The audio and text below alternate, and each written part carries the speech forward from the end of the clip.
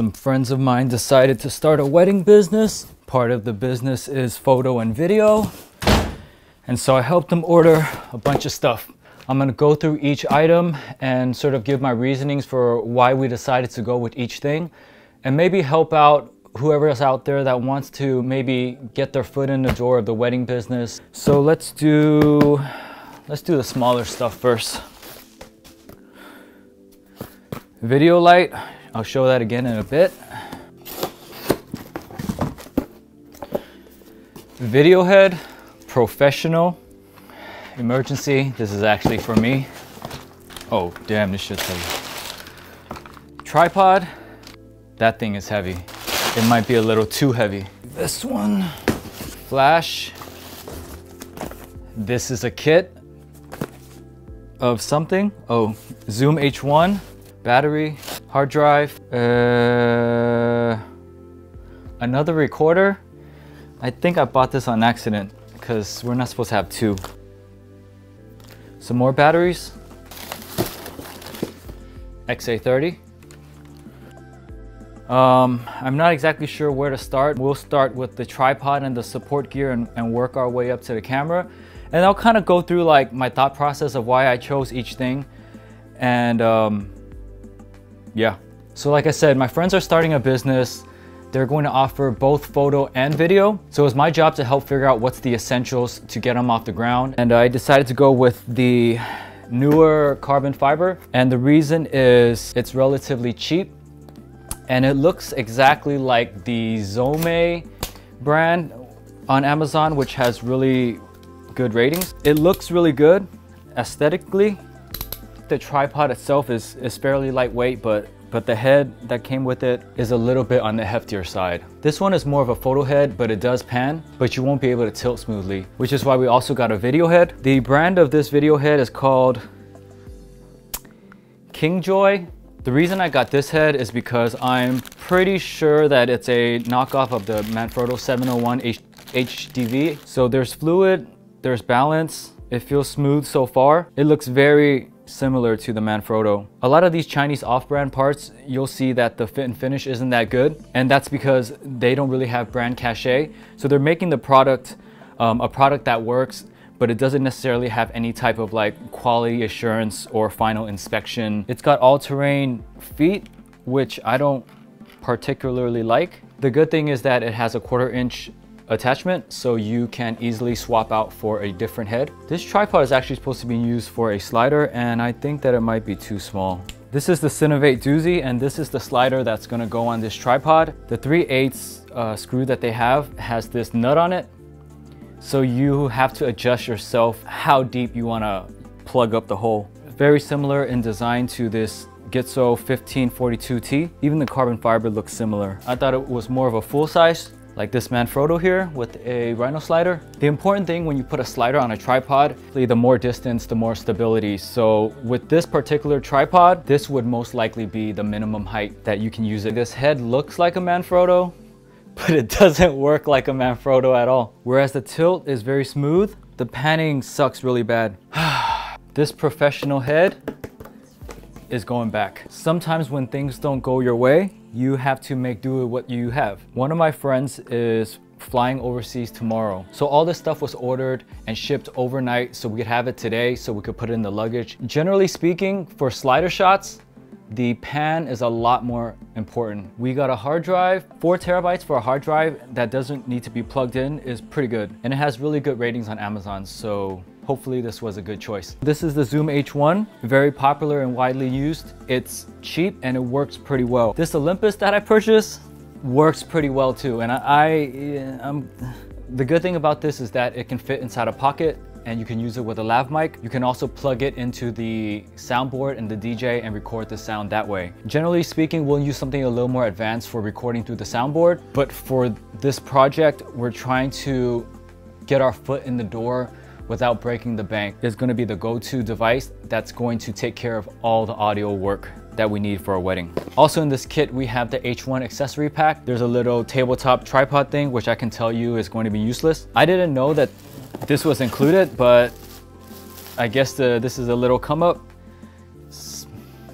In summary, this is going to be the entire audio setup. One thing that I always tell everybody who's so obsessed with gears and cameras and things like that is that what you see is 50% of how you absorb the world and what you hear is also 50%. So audio is really important. In some ways, audio is more important than video. If you're on a budget and you have to make decisions, put priority on the audio stuff first. This flash comes with a receiver and a transmitter, or, or these transceivers? Well, it's a flash and it comes with a trigger kit. So that way, if you wanna do off-camera flash and maybe you wanna have an assistant just hold this thing or you wanna put on a light stand, you can pop the flash that way. This is obviously meant to be paired with a stills camera, which I was unable to get in time. so, so, so yeah. Since we're talking about stills, I'm just gonna talk about the setup even though we don't have it. Um, we decided to go with a Canon 6D. Originally, I wanted to go with the 80D or 70D just to have that hybrid stills video work type of thing going. And we wanted to have a few of those just so both the video team and the photo team could basically use the same cameras. Full frame look, you know, there's a certain type of sharpness. You're able to blur out the background a lot more easier. And so ultimately I decided to go with a 6D for the stills and a camcorder camcorder for the video instead of like a DSLR or a mirrorless style. And I'll tell you why. The set of lenses that I picked are sort of like the bare bones for what you would need for, for a wedding. 17 to 40 f4 and this is for mostly prep and and things in the morning where you're gonna need that wide angle and you're gonna be in tight rooms obviously it's not a 16 to 35 2.8 but it doesn't cost anywhere near that. The other lens, the Sigma 50 millimeter 1.4, the 50 is so versatile, you can use it in any way and still get really good results. And then for reception, ideally you'd have a 7200. I'm still debating about that. With the wide zoom and a 50 prime, you really can't go wrong. We have extra batteries for the video camera as well as as well as the video, oh, the video light. And the batteries that we got were off-brand obviously to save money. Sometimes off-brand batteries are a good choice. Sometimes you might want to stay away from them. For stills work, I think off-brand batteries are, are okay. It's a really big bang for your buck, but you do have to be careful because I've used third-party batteries and once I did lose about 10 minutes worth of footage from a paid shoot. So this is a light from a company called Viltrox, again, another Amazon company. It looks really sleek. It uses the FP, the NP F550 or it uses these batteries. It looks like it might do the job in a, in a pretty dark environment. The good thing is that it's not, this is gonna be going on camera. I know you're gonna think I'm, I'm blasphemous, but that's what it's gonna be used for. You push in the knob and then you can choose your Kelvin. You also have a adapter, which I'm guessing is in this little thing. Mm -hmm. This doesn't come with an adapter, so I guess it's this battery all the way, but you can plug in a, an adapter in and I don't think it'll be that difficult to find an adapter. And this mount looks like they modified a GoPro mount or something, but it'll work. All right, so now we get to the main character of the show that I truly feel that the camera is the least important part of your, honestly, if I had to choose between this only or all this and my iPhone, I would choose all this and my iPhone. I chose to go with the Canon XA30 for several reasons. The first being price. Ideally, if you were to get into wedding work, I would suggest getting a Sony a6000 series if you want to shoot a cinematic style. For the market that we're getting into, we're okay with the more traditional route which is why we're going with a camcorder. They don't care if you have a Sony a7S with some Zeiss lens, shooting S-Log, grading it like a beast. They don't care about all that. This is an overseas market. This is not in the US. So that's the reason we decided to go with a camcorder. This camera is supposed to be super simple to use. I like how this handle is detachable because where we're bringing this, we're going to need to break everything down to make it look smaller because if it looks like we're bringing in a bunch of pro gear, which it kind of does look like, they might extort us at the airport. Okay, this is a lot smaller than I imagined, but okay, so with it rigged up like this, it, it, it might work, it, it might work. You've got the XLR inputs, which is good.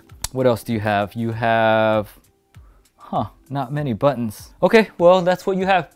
The difference between the XA30 and the 35 is that the 35 has a HD SDI, which for what we're doing is overly unnecessary.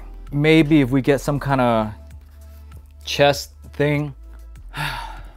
the A6500 shooting on 4K overheat and it stopped right before I put this thing on the glide cam. Basically what I was just saying, if you are in a US market, which most likely you are if you're watching this video, you may want to go with something uh, that shoots more cinematic images like a DSLR or a mirrorless camera.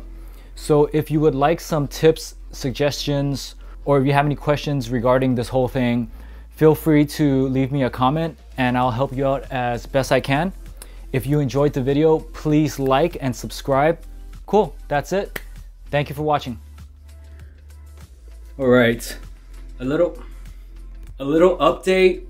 The tripod is going back. I'm returning it. It really sucks. Well, maybe it doesn't really suck. The camera, unfortunately, has to go back as well. Not that there's anything wrong with it, but I can't rig it up to get it big enough to look professional. And I know it's stupid, but for what we need it for, for the market we need it for, it's not gonna work. Most likely we'll end up with something like a Panasonic UX90 or something or other. And even if we choose not to go with the 4K workflow, I think that we can still get a, um, a sharp 1080, uh, whatever. The point is the tripod's going back, the camera's going back as well. And the reason that I'm putting this update in at the end is because hopefully you guys watch the whole thing but know that a lot of the things that I talked about as far as starting your own business, creating income from wedding photography or wedding videography, I think a lot of that still applies.